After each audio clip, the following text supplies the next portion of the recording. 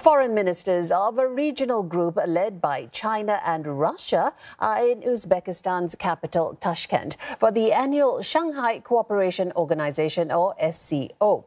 The grouping comprises eight members of states, including India, Pakistan, and several Central Asian states. It aims to promote cooperation in politics, trade, and the economy, as well as maintain security and stability in the region.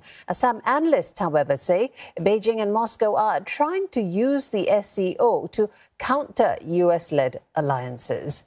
Ishan Garg uh, joins us live with more from New Delhi.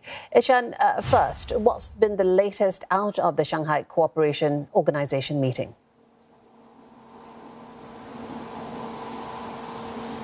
Well, the delegates, uh, the foreign ministry officials of uh, different nations have reached Tashkent, and there's going to be a dinner uh, early uh, evening, and then the meetings will start. Uh, but the precursor to the uh, talks has been an, a, a, conference on the situation in Afghanistan, which sort of sets the stage of what this meeting is going to be all about. They are going to discuss various regional challenges, various regional opportunities, and they're going to review regional cooperation as well. And several analysts have said that from India's side, one of the biggest things that Mr. S. Jaishankar, India's foreign minister, is going to be discussing is our potential arms deals and defense deals with uh, different Central Asian nations. Uh, so there's a lot on the agenda, and what uh, this meeting also going to do is to set the stage for another meeting in September, which will be attended by the heads of state of uh, these nations. So this is more of a precursor to that bigger meeting coming, but this is going to be crucial because uh, not only are these nations going to be discussing at a roundtable, but there's also the likelihood of uh, several bilateral uh, talks, uh, uh, for example, between India and China, and also between India and Pakistan. So a, lot depends on these meetings, and, and, several outcomes are likely once the meeting ends. Yeah, we'll talk a bit more about those meetings uh, because India, uh, as we know, will be taking over the chair of uh, the regional group next year. Uh, how will that affect? One, the group's dynamics, and secondly, how will it shape India's role amidst those bilateral issues involving China, Russia, and Pakistan?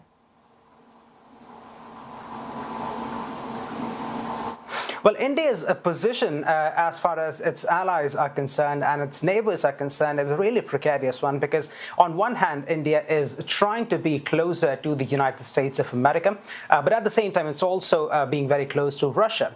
Uh, on one hand, it's trying to maintain a uh, relationship with Pakistan, and uh, on the same, on, on another hand, it's got problems with China on its northern borders. And amidst all of this, it's going to head the meeting from the next year onwards. Uh, but it's highly unlikely that that will complicate the situation as far as this multilateral institution is concerned, uh, because India does share uh, uh similar platforms with two key uh, two key countries in its neighborhood, Russia and China. It shares the BRICS platform with them, and we have seen in the past that there haven't been any problems on that front. but it, it's, it's going to be interesting to see how that relationship unfolds going forward.